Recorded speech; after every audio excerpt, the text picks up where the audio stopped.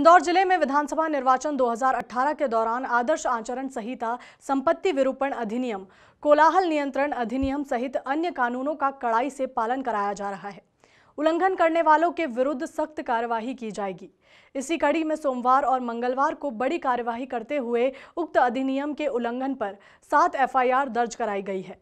इसके साथ ही संपत्ति विरूपण की सामग्री हटाने पर व्यय खर्च जुर्माने की राशि भी वसूलने के आदेश दिए हैं।